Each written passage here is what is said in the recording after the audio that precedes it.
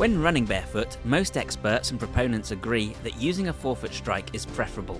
This allows the feet and knees to absorb the impact like a spring. However, this is less clear cut when walking. Some people argue that the same logic applies. The forefoot strike or midfoot strike means the knee is less locked out on impact and the foot is closer to the centre of gravity. The only problem is that there isn't much evidence to back this up. Not only do many barefoot cultures still walk with a heel strike, but it appears we have anatomical adaptations that favour a heel strike. For example, when the heel touches the floor, this triggers a reflex that engages the anterior tibialis. The shin muscle slows and controls the foot's downward motion, which is not to say that you can't use a more gentle heel touch as you lower your foot, and bring your feet closer to your body with slightly shorter strides. But what do you think? Ultimately, what works for one person might be different from what works from someone else. I'd love to hear your ideas. Bye for now.